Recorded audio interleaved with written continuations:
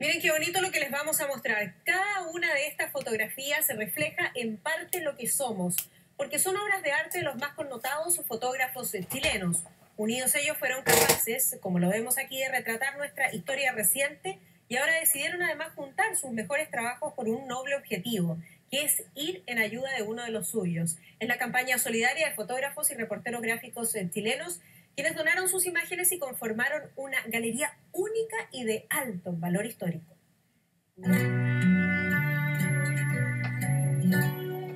En la mañana del 11 de septiembre de 1973, el gran fotógrafo chileno Juan Domingo Marinelo iba camino a la moneda cuando tomó esta instantánea en el centro de Santiago.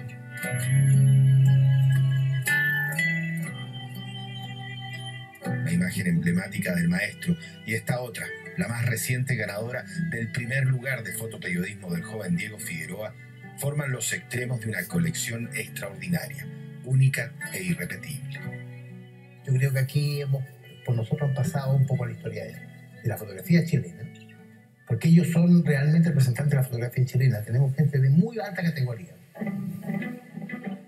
Por iniciativa de Inostrosa, fotógrafo de los expresidentes y al alero de una reputada escuela de fotografía, más de 40 profesionales acudieron en apoyo de esta campaña solidaria. Yo sabía que los fotógrafos no somos gente de plata. Lo único valioso que tenemos los fotógrafos, aparte, por supuesto, de la parte del alma, digamos, pero lo único valioso que tenemos son las fotos. Era muy emotivo. Era demasiado emotivo lo que, lo que estaban haciendo estos colegas por mí. Después viene como una segunda parte emotiva, el saber la cantidad de fotógrafos que se adhirieron a la campaña. Y después cuando empiezo a ver las fotos en la, en la página web, ver que los fotógrafos estaban mandando sus mejores fotos.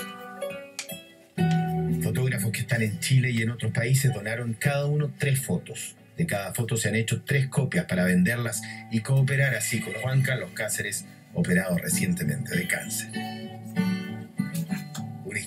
se ancla en el trabajo de la mítica Asociación de Fotógrafos Independientes que retrató la protesta contra la dictadura militar del general Pinochet.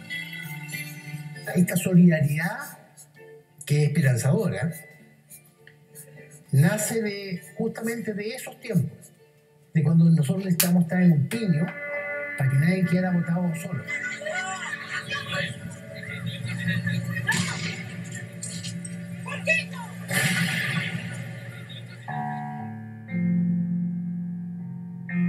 Cada foto impresa cuesta 37 mil pesos, un precio solidario que está muy por debajo del valor comercial que pueden llegar a alcanzar.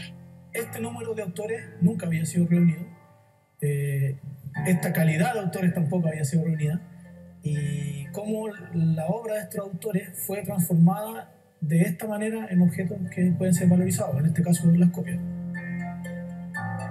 Yo confío en la generación de los fotógrafos, confío en la generosidad de ellos y por eso era más fácil esto, porque además uno siempre son los tesoros que uno guarda para los momentos malos. Y ahí están, y todos mandaron sus tesoros. La galería completa puede verse en la página 100 fotos para juancarlos.cl, donde se informa también cómo hacer la donación y recibir las imágenes seleccionadas, impresas en formato de obra de arte. Todo está impreso sobre papel libre de ácido, que es el que le da ese, ese tono brillante y acabado fino eh, y que tiene un tiempo de duración de sobre los 100 años en todos los casos. Un par de veces que yo me he puesto a mirar en la casa las la, fotos de la página web, realmente como que me han dado ganas de llorar.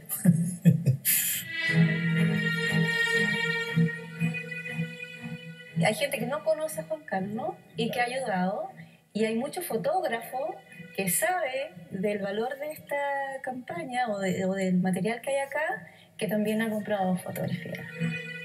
Gracias al apoyo de la Unión de Reporteros Gráficos, Juan Carlos Cáceres ya consiguió cubrir un tercio de su cuenta médica. Con el proyecto 100 fotos, espera pagar otro tanto. La campaña termina en un par de semanas a mediados de noviembre.